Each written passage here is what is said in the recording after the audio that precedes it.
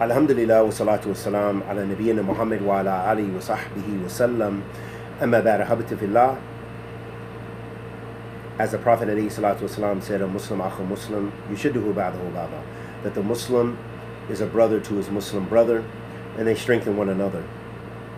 And Allah subhanahu wa ta'ala says, فَاسْبَحْتُمْ بِنِعْمَتِي إِخْوَانًا And they have become, uh, they become brothers from the favor of Allah subhanahu wa ta'ala. That once they were enemy, enmities, in, in, uh, enemies, and they became brothers in deen.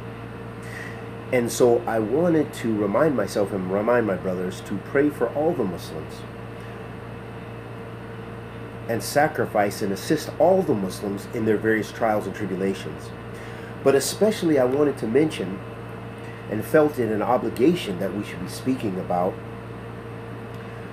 the brother, the Sheikh, Dr. Saeed ibn Ali ibn Wahaf al-Qahtani. Sheikh Saeed al-Qahtani. Hafidullah ta'ala, and may Allah subhanahu wa ta'ala cure him. That this is a sheikh who has researched and written extensively and brought in the Arabic language, but in fact, in around the world, his some of his books and works have been translated and have been have been uh, immensely beneficial in various Islamic sciences, especially related to usul ad-din. And from one of the great forms of armor that he has supplied the believer with is this book, Husnul Muslim, which I'm sure most of our households, if we don't have, we should have in it. And in fact, we should have it in our pocket.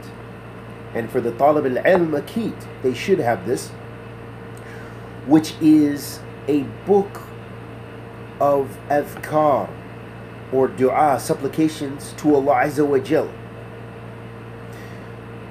based on the book of Allah and the sunnah the message of Allah sallallahu alaihi wasallam.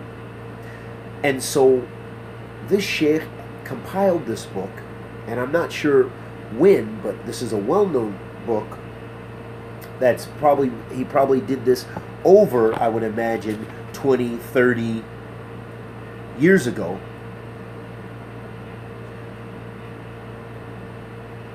and it is constantly been printed and translated and is a well-known book called uh, we know it as the fortress of the muslim.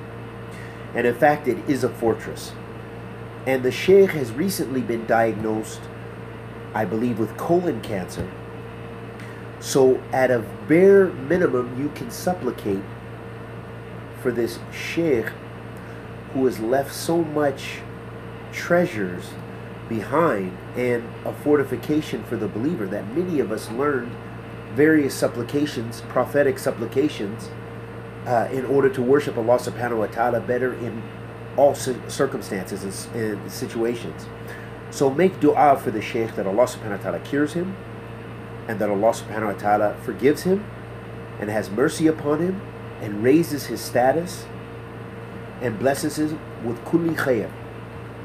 And we ask Allah the Almighty to accept our good and forgive our evil. And may Allah subhanahu wa ta'ala cure the Shaykh and bless him. Wa sallallahu wa sallam ala Muhammad.